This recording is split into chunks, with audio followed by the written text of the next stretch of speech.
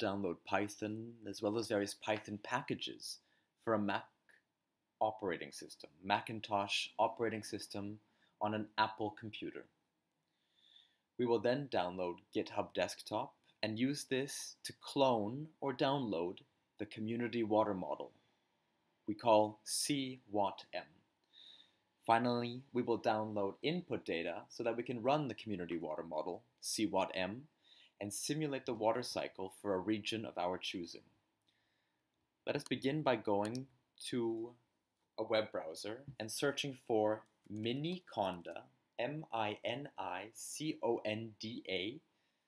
space Python version, P-Y-T-H-O-N, space version, V-E-R-S-I-O-N. We're looking for this link, latest Miniconda installer links by Python version. We want the most recent version of Python. We're on a Mac operating system.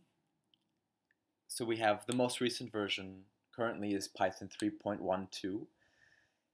We're on a Mac. And we want the package. So let's click here.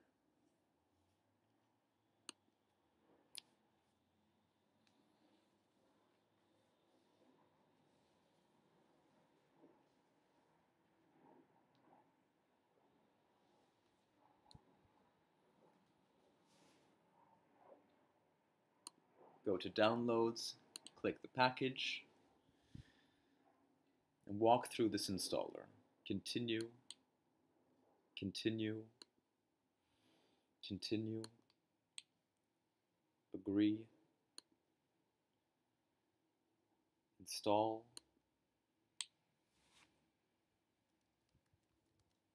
password, install software,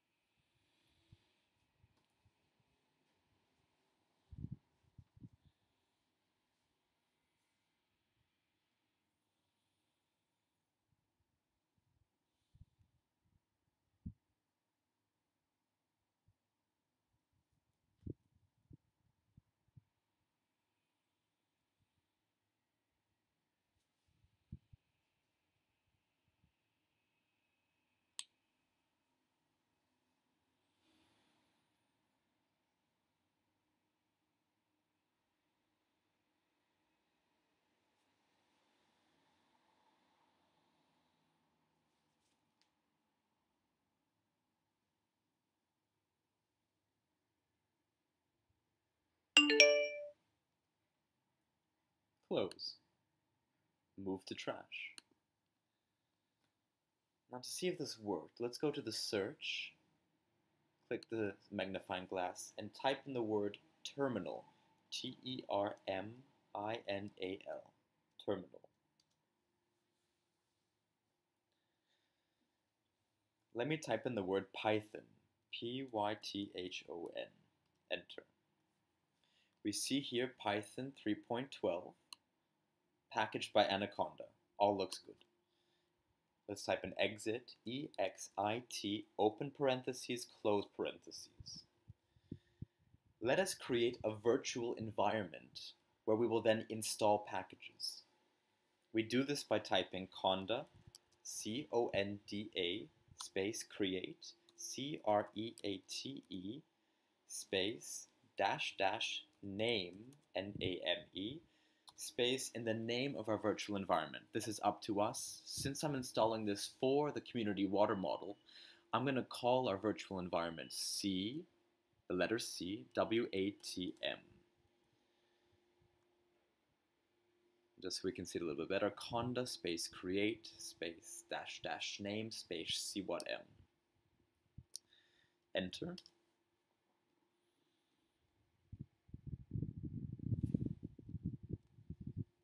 Stay zoomed in here. Proceed, type in the letter Y, enter. Okay.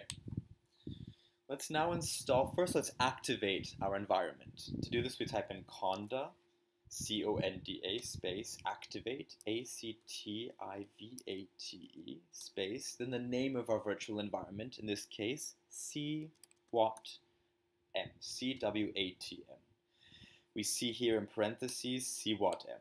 This lets us know we are in our virtual environment called C-Wat-M.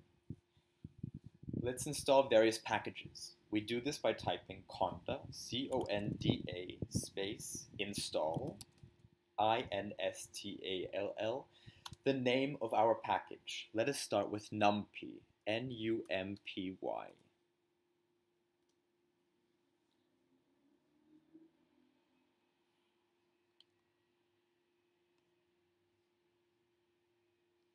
Proceed, Y, enter.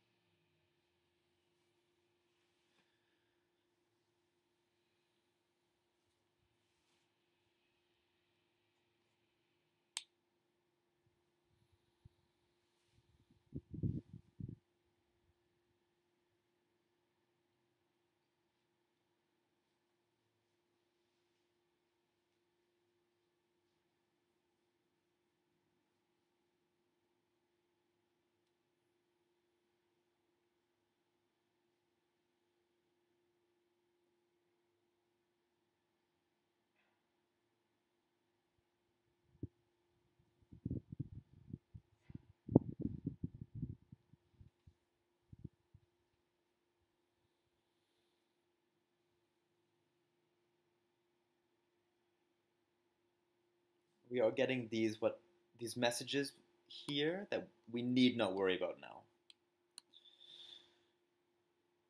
Let us install SciPy, conda, C-O-N-D-A, install, I-N-S-T-A-L-L, SciPy, S-C-I-P-Y. Enter.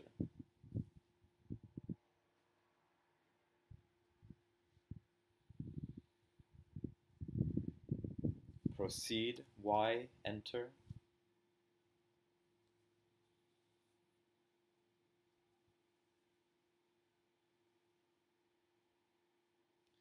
Our next package, netcdf4, conda, install net, N-E-T, CDF4.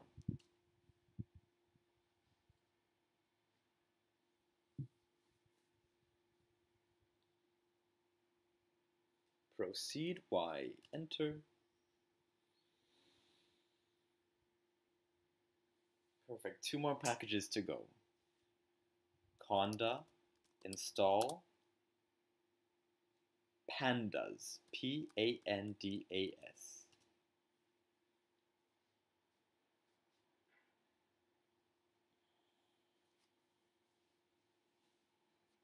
Y, enter.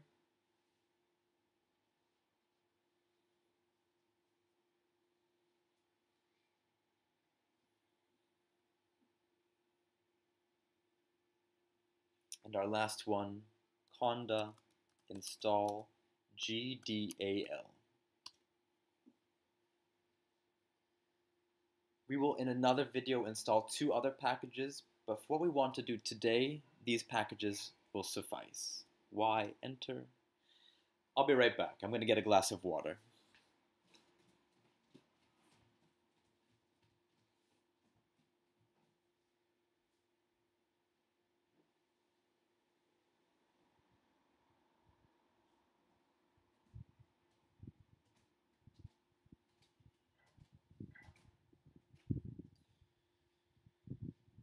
I'm back.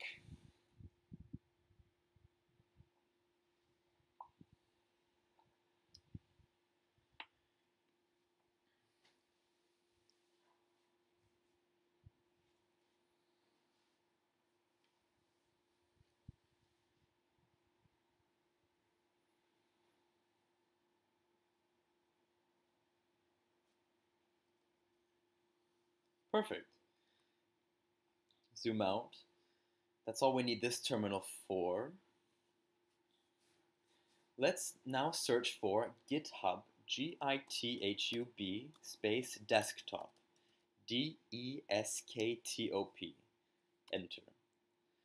GitHub desktop, click the first link. It says download for Mac OS. Just so we see, I'm using Mac OS Monterey, which is relatively old by now, but this should work from version 11. It should work from version 10.15 onwards. For GitHub Desktop, we need version 10.15 or later. So here we're totally fine. Uh, download for Mac OS. It recognizes that we're on a, using a Mac operating system.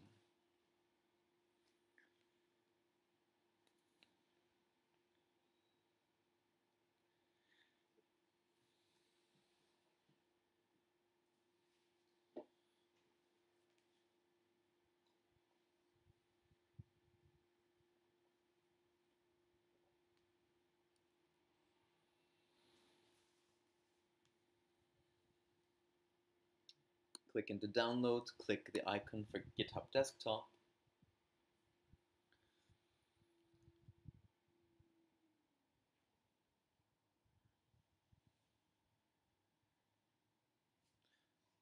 click on open.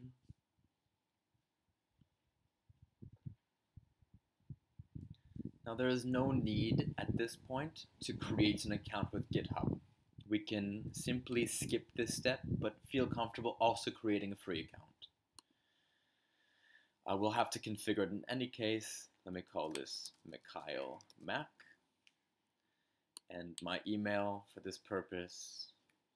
I wonder if it'll recognize my account if I use my email. Let me try.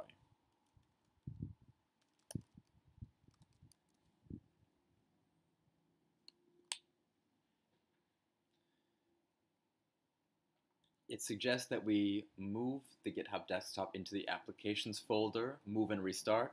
Uh, let's, let's do this. Move and restart. Uh, the appropriate password, okay.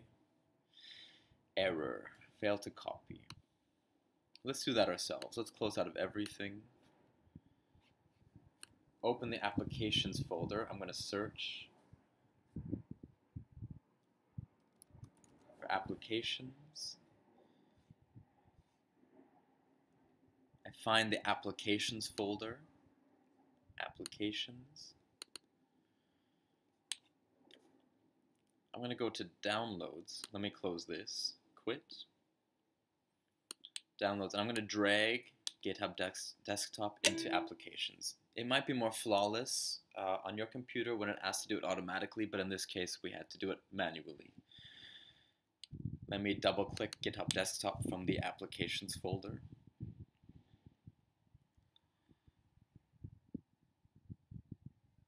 Okay, let's go clone a repository from the internet. Ah, let's try it in this way. Let's go into Safari and let us search for GitHub space C-W-A-T-M, C-W-A-T-M. We find community water model, C-W-A-T-M as a hydrological, perfect. In case this link doesn't come up, what we're looking for here is github.com slash iiasa, I-I-A-S-A, slash CWATM.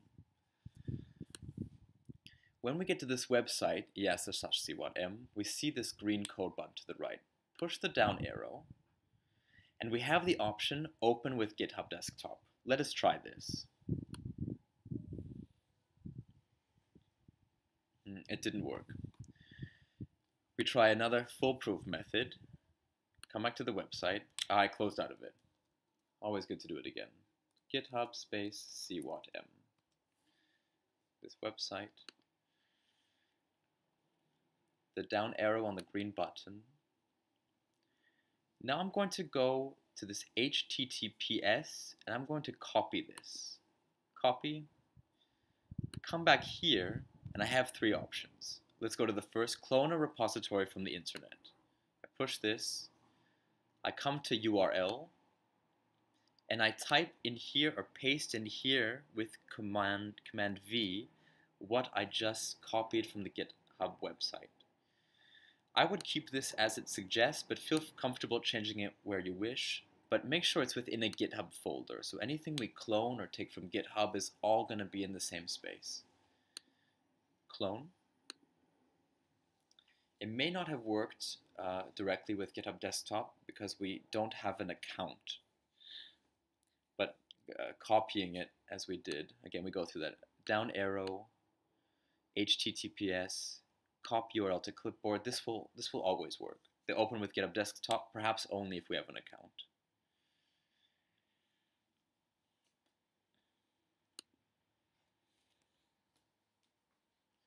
What we are doing is downloading CWatM. But it's called cloning because we're still connected to GitHub. So whenever a developer of CWatM creates a change in CWatM, we have the chance to pull those changes or update our version of CWatM with the push of a button. So not a hard download, but a always somehow connected download or a clone. Perfect. We want to now clone the input data for CWatM. While on this page, scroll down, and you're going to find a link to the repository CWatM-earth-30 minute. You can also just come to this link, github.com slash iiasa, that's I-I-A-S-A slash CWatM dash earth dash 30 minute. Same process, down button, copy, come to GitHub desktop. Now here it's a little bit different because it's not the first repository we're cloning. So let's go to File at the top, and let's go to Clone Repository. So File, Clone Repository, click. Now it's the same options we saw as before. We come to URL on the right, and copy what we just copied from, or paste what we just copied. And we see we're still in the GitHub folder that CWatM um, suggested in the first place, and clone. There, one creates different input data for CWatM at higher resolutions uh, as fit for their own region, but the 30-minute input data globally we can fit onto GitHub. Anything that's of higher resolution uh, doesn't fit yet on GitHub and we have to download in a different way. But this is the greatest way to start using CWatM. It's globally available input data for CWatM at 30 arc minute, which is about 50 by 50 kilometers. This includes all the input files except for the climate data that will now download in a different way.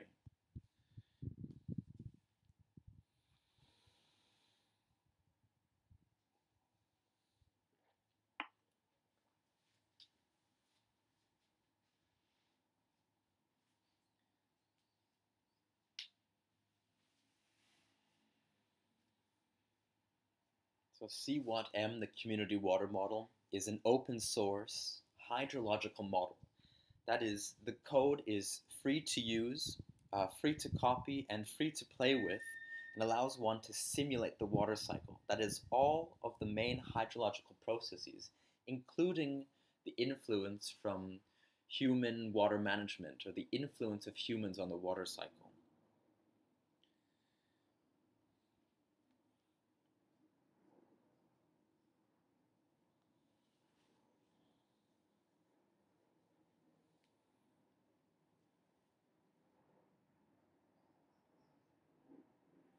We'll need to initialize git LFS. LFS stands for large file storage. Great. We've done everything we need to now do with GitHub. Before we download the climate data, let's just make sure that CWatM is running as we expect it to and that Python is downloaded as we expect it to. Let's click the down arrow and go back to CWatM we want to go to the folder where CWatM is on our computer. So if I go to repository and go show in Finder, it has now opened the folder CWatM. I want to open a terminal in this folder. If I right click, not here,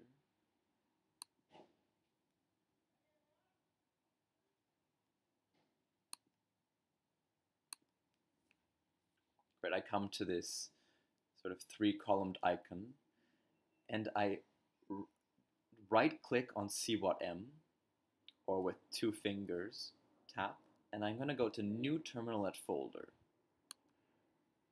This opens a terminal opening up inside of this folder. Let's activate our virtual environment. Conda, C-O-N-D-A, activate, A-C-T-I-V-A-T-A-E, uh, C-M.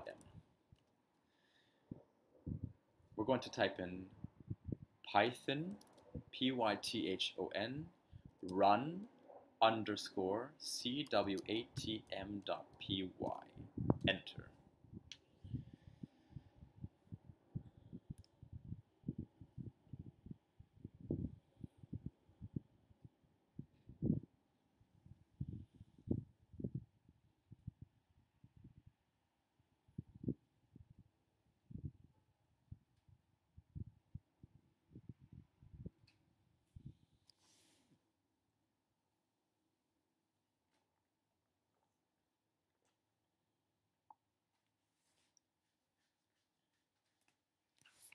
The first time it runs, it takes significantly longer than the subsequent times.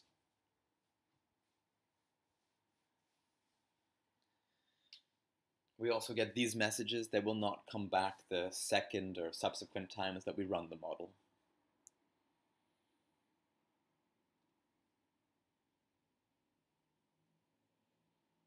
And, uh, and this is me Mikhail Smilovic, and these are all my colleagues that I have the wonderful opportunity to work with and develop this model. There are other developers of the community water model that aren't mentioned here. Um, they're all they're all uh, credited on the GitHub webpage. Okay, this lets us know that the model at least can start and that all the Python packages probably are installed correctly. What we'll do next is download the climate data and then configure our settings file to run on our computer to actually produce outputs for simulating the water cycle for a region of our choosing. But this is also a, a right now a, a point of success. We've made it this far. Let us download some climate data. If I come back to this GitHub webpage uh, where we're on CWatM Earth 30 minute and I scroll down, I see a link here, global climate in 10-year chunks. I'm going to click this and it's going to take me to a Google Drive folder.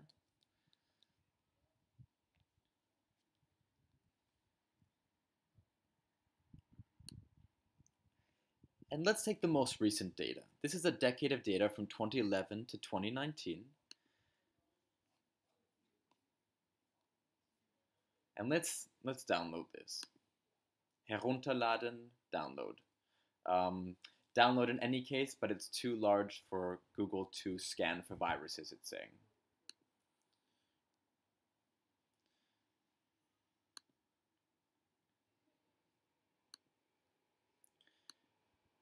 Now this is going to take some time. Uh, we'll start the next video when this data has downloaded. So uh, thanks for joining me till here. We'll see each other shortly. Ciao.